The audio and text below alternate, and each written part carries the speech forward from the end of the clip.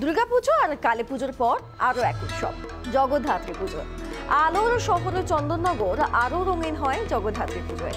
মহানবমীর রাতে মায়াবী আলোর রোশনাই ডাঙায়, যেন একেবারে দুর্গা পুজোর আমেজ।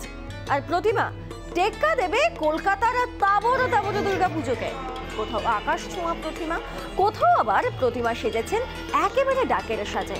আবার কোথাও থিমের ছোঁয়া আর রাজার শহর কৃষ্ণনগর, সেখানেও তো ঐতিহ্যময় এই জগদ্ধাত্রী পুজো। কেউ কেউ অবশ্য বলে থাকেন যে কৃষ্ণনগরের পুজো অতি প্রাচীন, যা চন্দননগরের পুজোর থেকেও প্রাচীন। সেখানে বড় মা বুড়িমা থেকে ছোট মা রাজবাড়ির পুজো।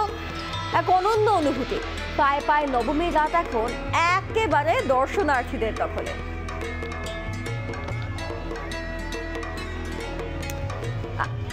আজ জগদ্ধাত্রী পুজোর মহানবমীর রাত এবং সেই মহানবমীর রাতে চন্দননগর আর কৃষ্ণনগর, এই দুই জায়গাতে মানুষের একেবারে উপচে পড়া ভিড়। সত্যি কথা বলতে, এই শহর কলকাতায় যারা থাকেন, যারা, তারা যেভাবে দুর্গা পুজোকে সেলিব্রেট করেন, বিভিন্ন জায়গা থেকে, বিভিন্ন জেলা থেকে মানুষ ছুটে আসেন কলকাতায় চন্দননগরের ছবিটাও বা কৃষ্ণনগরের ছবিটাও এই জগদ্ধাত্রী পুজোর সময় ঠিক একরকম। চলুন সেখানকার পুজোর কিছু ছবি আপনাদেরকে আজকে দেখাই। কৃষ্ণনগর থেকে আমার সঙ্গে এই মুহূর্তে পলাশ রয়েছে। পলাশ সকলকে একটু দেখাও, তুমি এখন কোন মণ্ডপে রয়েছে? সেখানে প্রতিমা কীভাবে সেজে উঠেছে? মানুষের ভিড় বা কতটা? একদমই সৃজিতা, তুমি যেটা বললে যে মানুষের ভিড়টা, আমার ভিডিও পার্সন কাজলকে বলবে, একটু জনজোয়ার। জনজোয়ারটা একটু দেখাতে, কারণ কৃষ্ণনগরের পুজোটা মাত্র একদিনের।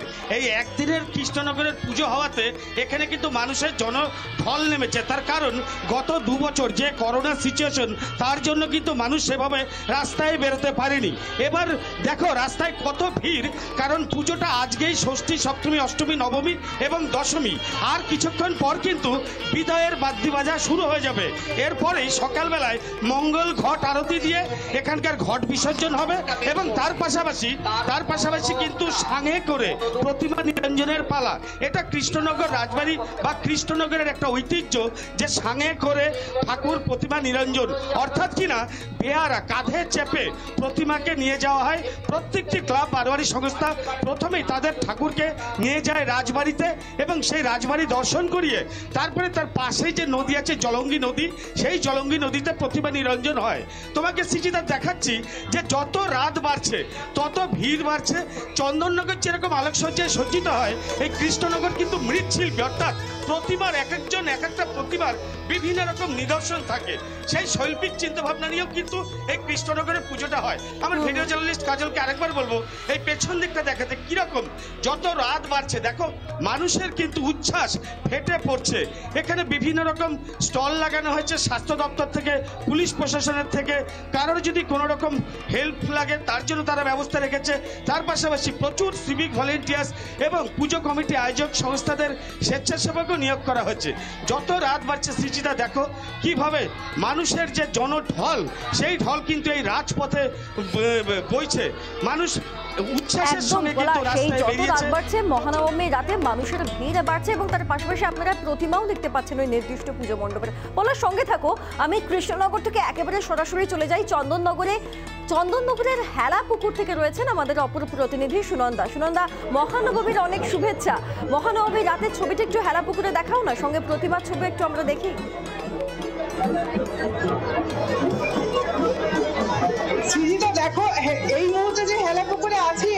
সেখানে যে কি পরিমাণ ভিড় যে আমি এই গ্লাসের রুমে আসতে বাধ্য হলাম, কেননা এত প্রচণ্ড মানুষ এখানে আসছেন সন্ধ্যে আমার সঙ্গে অদৃশ আছে, আমি তার মধ্যে বলব যে কাছের এই রুম থেকে তো ওটা দেখাতে, দেখো কি পরিমাণ মানুষ আসছেন, কিন্তু চন্দননগর সবসময় একটা সিস্টেমেটিক ওয়েতে চলে, সেটা এটা দেখলে বুঝতে পারবে, কোনো মানুষ কিন্তু এখানে দাঁড়াচ্ছে না, প্রত্যেকে কিন্তু একটা মুভিং অবস্থায় রয়েছে, এবং এই যে যেখানে দাঁড়িয়ে আছে যে মূর্তি সেটা কিন্তু আপামর মা কিন্তু পুরোপুরি স্বর্ণালঙ্কারে বিভূষিত এবং এই যে প্যান্ডেল, এই প্যান্ডেলের যে ভাবনা, সেটা হচ্ছে এখানকে আলপনা। এবং এই আলপনা, দেখো, আমরা যে কোনো শুভ কাজে কিন্তু আমাদের রীতি অনুযায়ী আমরা আলপনা দিয়ে থাকি। সেই আলপনা আজকে বিশ্বজনীন এবং গৌরাঙ্গ কুইলা, যিনি কিনা ভীষণ বড় একজন শিল্পী তিনি কিন্তু এই যে প্যান্ডেল যে সজ্জা, সেটা করেছে মণ্ডপ সজ্জাটা।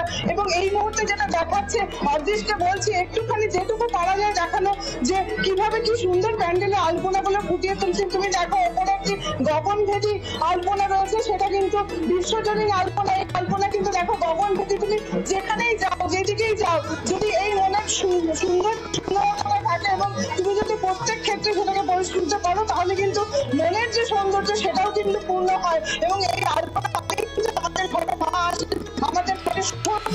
যে অনুষ্ঠান হয়। এবং এখানে সোনায় আপামর সোনায় সজ্জিতা বিভূষিতা এখানকার মা, এই সোনার মা তিনি রয়েছেন এখানে। লাখ লাখ মানুষ আছেন আজকে সারা দিন ধরে চন্দনা করে নবমী মিছিল এখন শুধু অনেক দাঁড়িয়ে যাক নবমী মিছিল কেন আজকের পর আগামীকাল মা কিন্তু বিসর্জনের পথে যাবেন। এবং সেখানে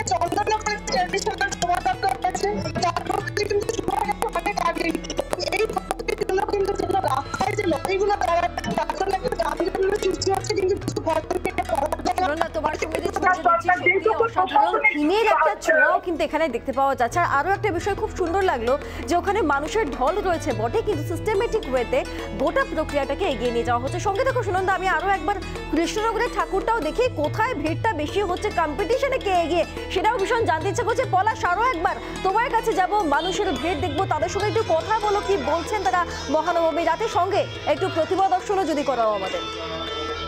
একদমই সৃজিতা। এবার কৃষ্ণনগরের যে ঐতিহ্য মণ্ডিত যে পুজো মণ্ডপ সেটা হচ্ছে বুড়িমা বুড়িমা অর্থাৎ চাষাবাড়ে বারোয়ারি। এবার তার আড়াইশো বছরে পদার্পণ করেছে। এই রাস্তায় যারা আসছেন আমি একবার একটুখানি জানার চেষ্টা করব কীরকম প্রতিমা দেখলেন এবার? খুব ভালো। তাও মানে সবই মোটামুটি। হ্যাঁ খুব ভালো লাগছে খুব। দেখো যারা দর্শনার্থী এসছে তারাও জানালো যে খুব ভালো লাগছে কারণ গত দু বছর তারা বেরোতে পারেনি। আমি আমি আরও দু একজনকে জানবার চেষ্টা করব যে কীরকম প্রতিমা দেখলেন। খুব ভালো। অনেক। আর এখন আপাতত আজকের মতো কিছু নেই। সত্যি রাত অনেক বাড়ছে ওই জন্য প্ল্যানটাও আস্তে আস্তে ছোট হয়ে আসছে। কারও কারও কাছে কিন্তু গোটা রাত গোটা রাত পড়ে রয়েছে। তারা সারাটা রাত রাত জেগে তারা ঠাকুর দেখবে এবং কৃষ্ণনগরের যে একাধিক ক্লাব, সংগঠন, বারোয়ারি, প্রত্যেকে কিন্তু পাল্লা দিয়ে একের পর এক তারা বিভিন্ন রকম প্রতিযোগিতামূলক থিম এনেছে এবং অনেক কিছু। যে আমার পেছনে দেখা যাচ্ছে অমৃত কি মহোৎসব, যেই জন্য এই যে ক্লাবটা তৈরি করেছে, যে সপ্তমী তু জয়তু এখানে কিন্তু যে আজাদি কি পঁচাত্তর বছর সেই উপলক্ষে একটা, এরাও একটা প্যান্ডেল তৈরি করেছে। আমি আরও আরও সাধারণ মানুষকে একবার জানবার চেষ্টা করব। ভিডিও জার্নালিস্টকে বলব, একটুখানি এগিয়ে নিয়ে আসতে। ক্যামেরাটাকে কীরকম লাগছে? পলাশ যে ছবি তোমার সঙ্গে দেখছি মানুষের উচ্ছ্বাস উত্তেজনা একদম তুঙ্গে সেটা কৃষ্ণনগর হোক বা চন্দননগর আজ রাত আর এই স্পেশাল নাইটকে কেউই এক এক মুহূর্তের জন্য হাতছাড়া করতে না। সুনন্দা পলাশ দুজনকে অসংখ্য ধন্যবাদ।